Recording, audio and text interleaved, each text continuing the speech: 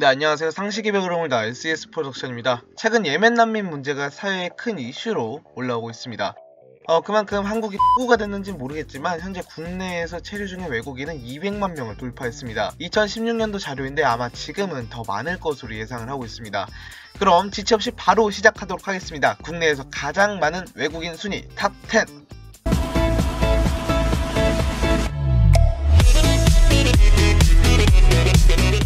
10위는 몽골입니다. 체류자 수 35,206명인데요. 상당히 대외적으로는 좋지만 내부적으로 들어가면 한몸 관계는 좋지 않다고 평가할 수 있습니다. 몽골에서 한국인에 대한 감정은 썩 좋지만은 않습니다. 몽골의 수도인 울란바토르에서 한국어로 대하면 뒤통수를 맞는다는 소문이 있을 정도니까요. 어, 그 때문인지 모르겠습니다만 2013년도 경찰청 자료에 의하면 외국인 강력범죄자 중 몽골인이 압도적으로 많았다라는 자료가 있습니다. 9위는 캄보디아입니다. 체류자 수 45,832명입니다. 현재 국내에 거주하고 있는 캄보디아인들을 보면 대다수가 3D 노동자들입니다. 그래서 한국에 대한 안 좋은 시선이 많습니다. 하지만 최근 한류의 열풍에 따라서 한국에 대한 이미지가 좋아지고 있다는 소식이 조금씩 들려오고 있습니다. 캄보디아는 많은 한국인들이 관광을 떠나는 나라이다 보니까 앞으로는 관계 증진이 될 것으로 예상이 되고 있습니다. 8위는 인도네시아입니다. 체류자 수 47,606명입니다. 한국과 인도네시아는 경제적으로 매우 가까운 편인데요. 경제 교류가 매우 활발한 편입니다. 그래서인지 인도네시아에서 세 번째로 투자를 많이 하는 나라가 한국이고 한국에서 일하는 외국인 노동자 중에서 인도네시아인을 심심찮게 볼 수 있는 이유입니다. 7위는 일본입니다. 체류자 수 51,297명인데요. 가깝고도 먼 나라라고 표현하는 경우가 많은데요. 어, 여기 있는 나라보다는 보통 관광객 위주나 교육 위주의 외국인이 더 많습니다. 이 뜻이 뭐냐면 문화적인 교류가 활발하다는 의미입니다.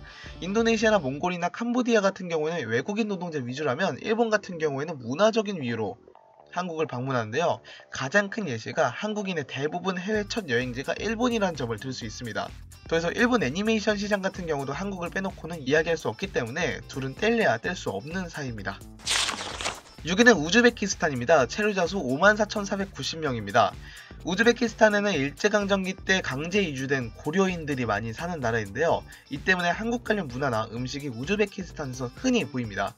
한국에서 우즈베키스탄인들이 많이 보이는데 그 이유 중 하나가 한국에서 번 한 달 임금이 우즈베키스탄에서는 5년치 임금이기 때문에 우즈베키스탄 사람들이 자주 오는 거 아닐까라는 생각이 듭니다. 그뿐만 아니라 우즈베키스탄에서 한국에 대한 인식이 좋은 편이어서 앞으로도 한국이 중앙아시아 쪽으로 진출할 때 우즈베키스탄을 기점으로 진출을 할 것으로 예상이 됩니다. 5위는 필리핀입니다. 체류자 수 56,980명입니다. 필리핀이라는 나라를 어떻게 설명해야 될지 모르겠습니다. 어, 저의 주관적인 입장은 필리핀이 6.25 전쟁에서 도와준 우방국이긴 한데 음, 옛날에 우리나라를 무시했던 역사가 있고 현재는 필리핀 내에서 한국인을 대상으로 한 범죄가 늘고 있어서 좋은 나라라고 평가해야 할지 나쁜 나라라고 평가해야 할지 모르겠습니다. 하지만 외교 관계가 좋다는 것은 변함없는 사실입니다. 필리핀을 가장 많이 방문하는 나라가 한국이거든요. 4위는 태국입니다. 체류자 수 10만 860명인데요. 상당히 한국과 친한 국가 중 하나입니다. 단적인 예로 세월호 침몰 사고 당시에 가장 크게 걱정해주는 모습을 보여주었습니다. 그래서 한류의 영향으로 한국의 영향력이 매우 크기도 합니다. 3위는 미국입니다. 체류자 수 14만 222명인데요. 아무래도 한미동맹의 영향이 아닐까 생각이 듭니다. 경제적으로, 군사적으로, 외교적으로 예, 한국과 미국은 뗄래야 뗄 수 없는 사이이고 통일이 된다 하더라도 미국 입장에서는 한국을 버릴 수 없기 때문에 어, 계속해서 아마 100년까지는 우방국으로 남을 것 같습니다. 2위는 베트남입니다. 체류 자 수 14만 9,384명입니다. 베트남과는 전쟁을 한번 치렀던 나라이기도 합니다. 하지만 소련 붕괴 이후 다시 외교 정상화를 했는데요. 이렇게 많은 체류자 수가 있는 이유가 국제 결혼이 아닐까 생각이 듭니다. 계속해서 한국 사회로 베트남 여성들이 유입되고 있거든요. 그래서 정부에서는 앞으로 몇 년 안에 베트남 혼혈 한국인들이 사회에서 활동할 것이다 라고 발표한 적이 있습니다. 어, 실제로 지금도 활동을 하고 있고요. 1위는 중국입니다. 인구가 많아서 그런지 체류자 수만 101만 6,607명입니다.